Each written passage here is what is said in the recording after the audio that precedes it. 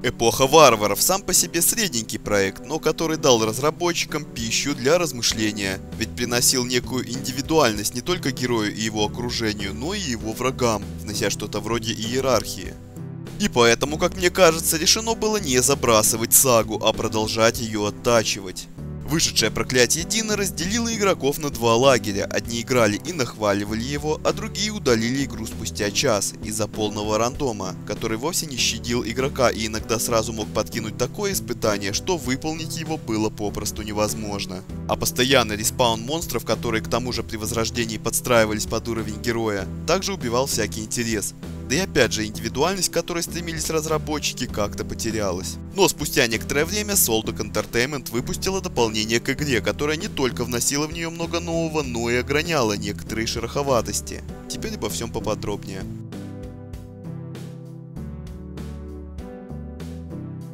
Действие происходит в том же мире, что и эпоха варваров, сразу после окончания Четвертой Великой войны. Свет еще не оправился от потерь, а тьма все еще населяет ее территорию, хоть и попряталась.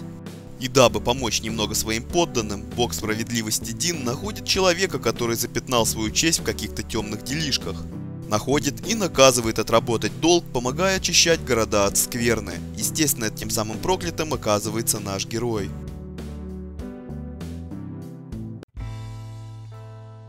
Начале игры создаем героя, пишем имя и выбираем один из доступных классов. Воин, вор, маг, лучник, жрец и чародей или же некромант. Также в дополнение добавили охотника на демонов. Каждый класс в своей основе имеет три подкласса, в которых сможет развиваться.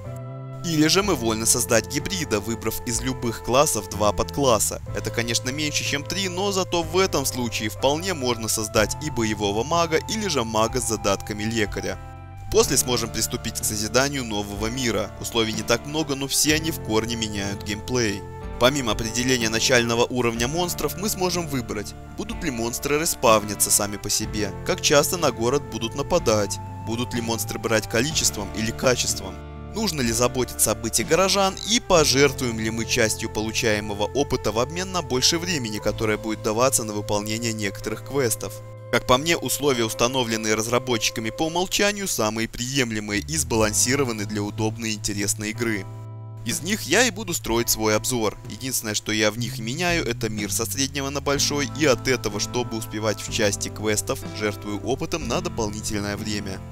Если вы играли в эпоху варваров, то в игру вольетесь сразу. По инвентарю, прокачке, графике и расположению иконок в ней фактически ничего не поменялось. Кроме, пожалуй, самих навыков и героя. Да и там из трех подклассов, если вы выбрали не гибрида, прокачивать вы будете скорее всего только пассивные и 2-3 активных, где одно атакующее, а другие защитные, лекарские или вызов. Просто монстров, обладающих иммунитетом к какому-либо урону в игре нет, поэтому и нету смысла качать несколько стихийных атак. И отката у навыков нет, и ограничены они лишь маной, и не было бы в проклятии Дина ничего примечательного, если бы не парочка его сюрпризов.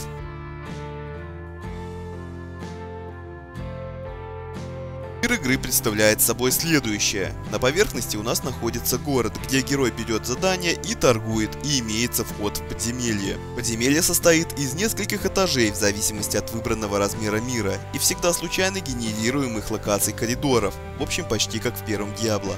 По уровню бродят разнокалиберные монстры, и чем глубже мы спускаемся, тем более высокого уровня они становятся, где-то один level на два этажа.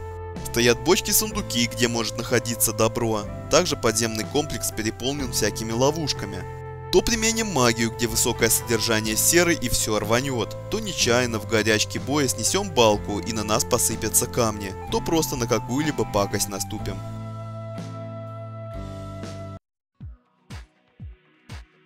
Через некоторое время мы начнем понимать, что монстры не так пусты и имеют свои должности и карьерный рост. И начиная с третьего-пятого города, в зависимости от размера мира, все становится на свои места. Подземелья населяют разные народности злых NPC. Демоны, нежить, наги, темные эльфы, которые помимо игрока любят и друг дружку поколотить. Почти всегда одна раса доминантна и имеет своего повелителя, который обычно живет на последнем этаже. Как раз таки повелитель и будет появляться на третью-пятую игру. Он всегда один, у него в подчинении находятся 2-4 генерала, у них по несколько лейтенантов, у тех сержантов, а у тех солдат, плюс бесчисленное количество просто миньонов. Другие расы также могут иметь солдат, сержантов, лейтенантов и, возможно, генерала. Вся эта шайка-лейка постоянно вырабатывает планы, как уничтожить город на поверхности, убить игрока и возвыситься перед начальством, то есть повелителем, а тот в свою очередь отдает приказы подчиненным. И вот кто-то может начать строить демонический портал и призывать демонов. Если игрок не поторопится, то спустя некоторое время после окончания строительства этаж будет прям кишить монстрами. Кто-то построит генератор бурь и на поверхности настанет непогода и в землю начнут лупить молнии, или генератор землетрясений, который будет содрогать пещеры. А то и вовсе соберет всех подконтрольных себе миньонов и нападет на город. Игрок все это должен пресекать, чтобы не вернуться на пепелище.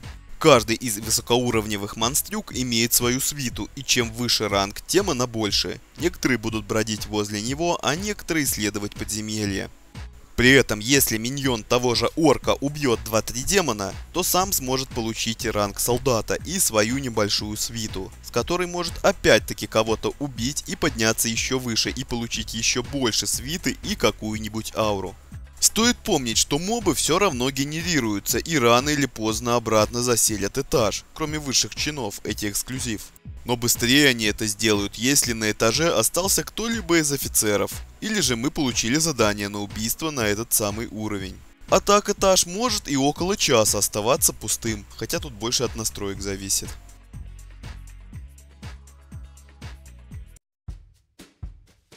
Города в игре также случайно генерируемы, как в плане местности, так и в плане населяющих их NPC. Единственные, кто точно будет присутствовать в городе, это бог Дин и три главных квестодателя – лекарь, староста и воевода, а вот горожан или торговцев может и не быть. Хотя в любом случае город поначалу будет представлять собой нечто удручающее. Нищее голодное население, рискующее погибнуть от любого монстра, и герой волен им немного помочь. Во-первых, дать денег, при этом он спасет их от голода. Правда, со временем деньги у них закончатся, и они могут попросить еще. Во-вторых, экипировать, тем самым дав им шанс самим себя защитить. Но хороший шмот все же им зажирно будет, а вот обычный самое то. Ведь атаки на город может и вовсе не быть, или герой будет успевать на выручку. В-третьих, любой NPC может дать нам второстепенное задание, и часть из них относится к усилению города. То башню захотят построить и нужны будут ингредиенты, то алтарь, дающий городу бонусы или еще что. И выполняя такие задания, мы опять же повышаем шансы поселения на выживание. Кстати, в подземельях мы сможем находить и спасать еще население для города. Плюс за любую работу, помимо награды, мы получим репутацию у Дина, представляющую собой эдакие очки опыта. И когда репутация достигнет нового уровня, мы получим награду, и чем выше уровень, тем лучше подарок.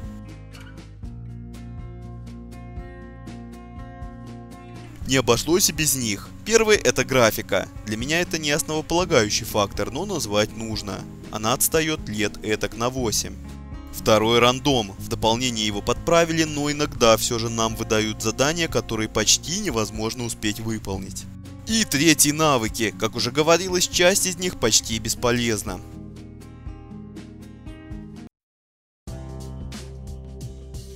Проклятие Дина не отличается каким-то суперсюжетом или умопомрачительной графикой. Да и геймплей довольно однообразен, но что-то в ней есть, что заставляет нас спасать город за городом, собирать шмот и лут и помогать NPC. Игра в первую очередь притягивает своей атмосферой и довольно интересным, хотя и однообразным противником, который также применяет против нас свои тактики.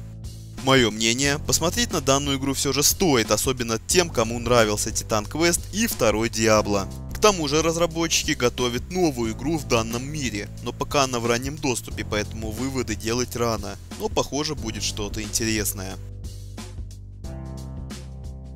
На этом все, всем удачи и подписывайтесь на канал.